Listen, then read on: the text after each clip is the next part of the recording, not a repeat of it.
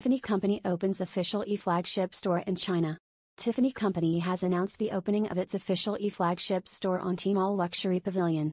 This marks a significant milestone in the LVMH owned luxury house's online retail strategy in China. The virtual debut boosts its extensive network of 41 brick and mortar Tiffany boutiques throughout China, including 7 in Shanghai.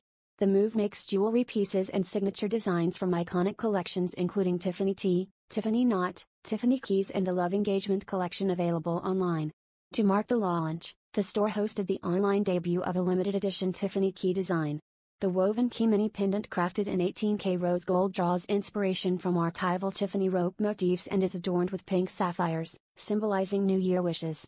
The store also offered exclusive perks to Tmall Luxury Pavilion's millions of users. News source, Douyin